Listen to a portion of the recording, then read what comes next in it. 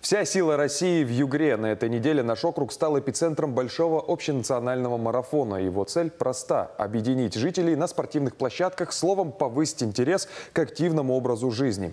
На открытие зимнего этапа в Ханты-Мансийск прилетел герой России, трехкратный олимпийский чемпион Александр Карелин. Встреча с ним стала настоящим вдохновением для спортсменов. На месте событий побывала наша съемочная группа, ведь делегация из столицы страны была многочисленная. Все подробности в нашем следующем сюжете.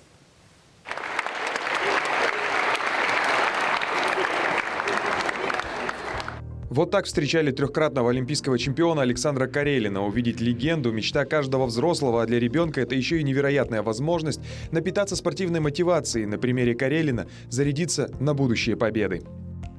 Ну, я вообще давно следил за Александром Карелиным и всегда мечтал встретиться с ним и получить его автограф. Насколько тебе понравилась сегодняшняя встреча? Вдохновил ли он тебя для достижения своих побед? Да, он вдохновил меня, я получил мотивацию – заниматься спортом. Я убежден, что совершенствуя внутренний чемпионат, поддерживая внутреннюю селекцию, мы сможем подготовиться. И так же, как и в 1952 году прошлого века, когда мы впервые участвовали в летних Олимпийских в Хельсинки, покажем замечательные командные результаты, покажем способность русских атлетов к э, победам, к э, преодолению. Приехал Александр Карелин в Югру для того, чтобы открыть зимний марафон «Сила России». Его главная цель – популяризировать спорт в стране. За месяц только в Югре пройдет более 60 мероприятий, в которых примут участие как любители, так и профессионалы.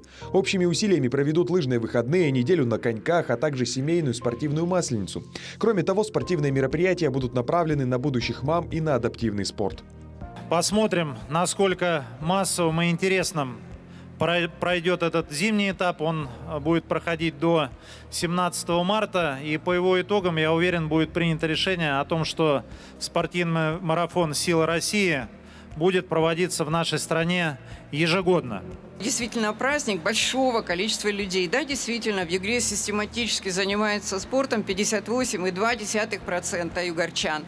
Это почти 960 тысяч граждан, э, наших земляков. Спортивные достижения Югры отметил и первый заместитель председателя Совета Федерации Андрей Турчак. Он же дал старт второму этапу проекта. Первый, к слову, прошел летом. Действительно, Югра – это территория спорта, территория спорта высших достижений, территория массового спорта. Есть суровая статистика, больше половины жителей Ханты-Мансийского автономного округа занимаются массовым спортом. Это дорогого стоит. Спорт – это сила, спорт – это сплочение. Спорт в нашей стране – это действительно и по праву является силой России. Спортивная сила страны будет укрепляться до 17 марта. За этот месяц у югорчан будет возможность не только открыть для себя новые дисциплины, но и провести время с семьей. А это самая главная награда. Дмитрий Пришвицын, Александр Иванова, Владимир Дадыко. Специально для программы «Больше, чем новости».